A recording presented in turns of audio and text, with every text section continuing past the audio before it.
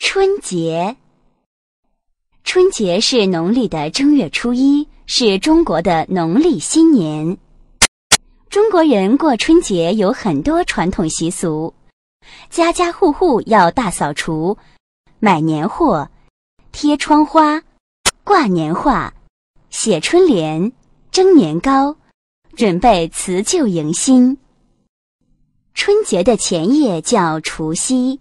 除夕之夜是家人团聚的时候，一家人吃一顿丰盛的年夜饭，说说笑笑，直到天亮，这叫守岁。